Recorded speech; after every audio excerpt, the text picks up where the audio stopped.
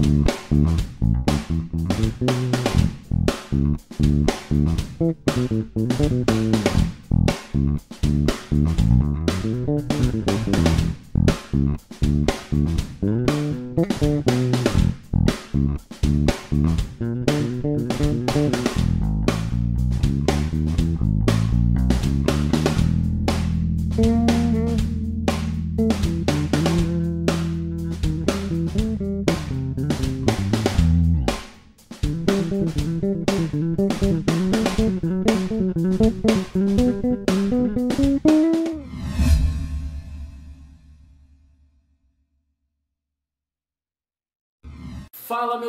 do YouTube, aqui quem fala é Raul Beis. Estou de volta aí depois de muitos anos com um vídeo de dicas para galera que assiste aí meus vídeos atrás de dicas de coisas novas para aprender, para executar no seu contrabaixo. Só deixando claro que eu não sou professor de contrabaixo, tá? Eu sou apenas um, um, um cara que ama contrabaixo e gosta de compartilhar conhecimento, além de algumas musicalidades, brincadeiras e zoeiras e opiniões e afins. Enfim, sem muitas delongas, vamos começar. Slide, Vibrato e Band. Eu vou mostrar para vocês a aplicação dessas três técnicas, que vocês com certeza já devem ter ouvido falar, você já deve ter inclusive feito sem saber o nome deles. Então antes de continuarmos, já se inscreve no canal, entendeu? Vamos bater a meta de 3 mil inscritos para poder rolar aquele desafio do Júnior Gruvador, que vai ser muito engraçado, eu não sei nem como é que eu vou fazer para tocar e dançar, mas Vamos ver, vamos deixar a parada acontecer que aí eu vejo como é que vai ser essa gravação. Vamos começar agora. Primeiro vamos falar sobre slide. Slide na língua inglesa significa escorregar. Então, basicamente é o que você vai fazer aqui. Você vai escorregar seu dedo na corda. É isso que você vai fazer. Isso aqui é o slide. Então, como é que você vai aplicar isso em um groove? Você pode fazer o slide em uma corda apenas e, e iniciar o seu groove Vai ser tipo isso.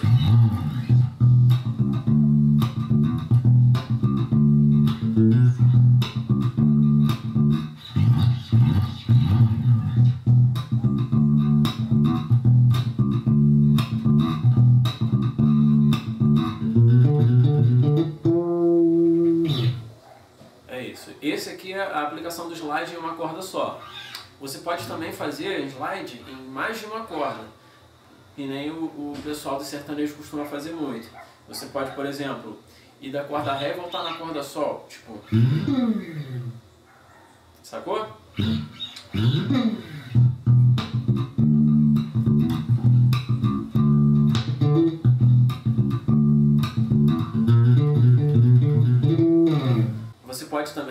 Ir na corda mais fina e voltar na corda mais grossa. Isso daí é indiferente. Você pode fazer tanto ou também fica legal, entendeu?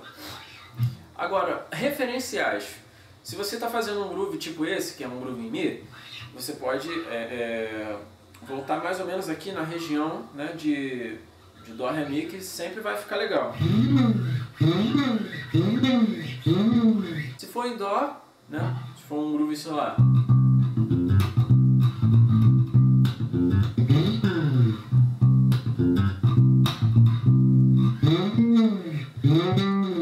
pode fazer um slide em um dó, em dó mesmo, aliás, em fá, em dó, ou então aqui em sol.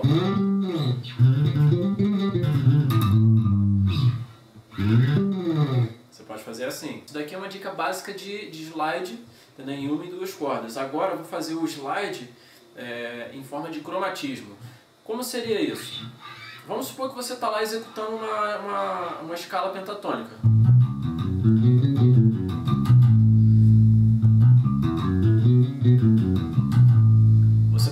Usar o slide né, como cromatismo para fazer tipo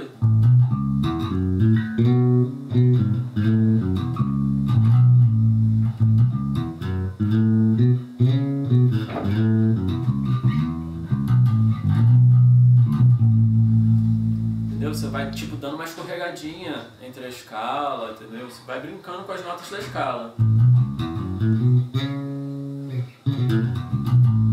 Escala sem nada, agora com um cromatismozinho.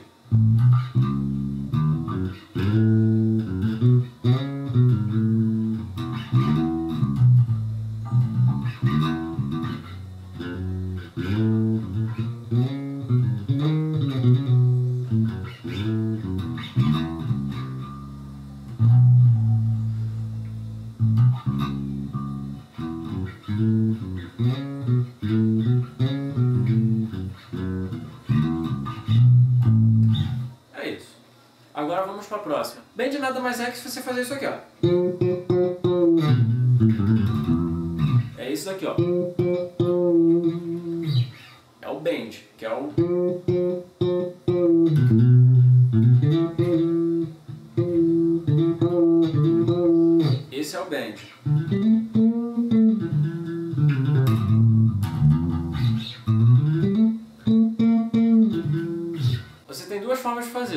fazer. O bend comum para baixo para cima. Mesma coisa. Ou você pode tipo fazer o bend e ir tocando várias vezes no pizzicato, tipo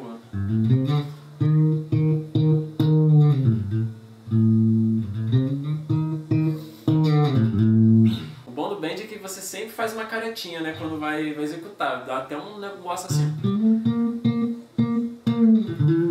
Então é isso aí, esse é o bend. O vibrato nada mais é do que um bend tipo vibrando, por isso que é o nome vibrato, vibrato, entendeu? Então você vai... Sacou?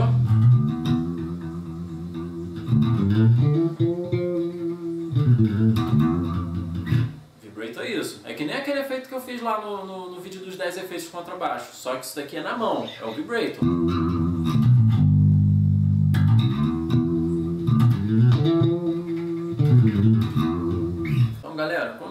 Você for fazer um groove, você tem essas três referências agora para poder aplicar, né? Junto com os outros que eu ainda vou explicar em vídeo para vocês. Mas vamos lá, você tá indo, vai fazer um groove, você já pode pensar, pô, é, tipo...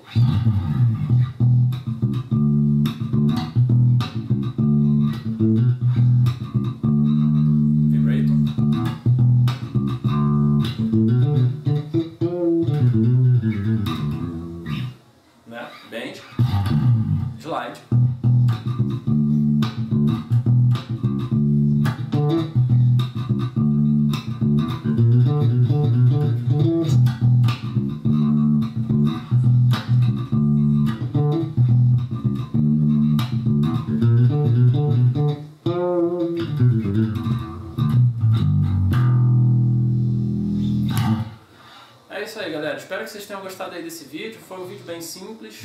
Três efeitos, aliás, três é, técnicas bem básicas, bem simples que vocês podem estar aplicando aí os seus grooves. E espero, espero que vocês tenham gostado. E se você gostou, se inscreva, deixe seu like aí para ajudar, compartilhe com os amigos e assiste esse outro vídeo aqui que eu vou deixar para vocês. Valeu? Um abraço, galera. Até a próxima.